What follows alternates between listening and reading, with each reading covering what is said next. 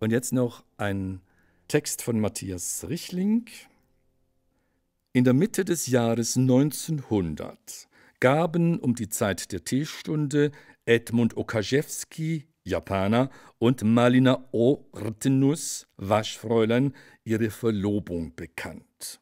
Aber 77 Jahre später, an einem Junimorgen erst, ehelichte der mittlerweile 92-jährige Edmund Okajewski, Japaner, die gleichfalls mittlerweile 92-jährige Maline Ortenus, Waschfräulein, in der Kapelle Santa Evinia, nördlich der Schweiz, nachdem sie sich miteinander besprochen hatten.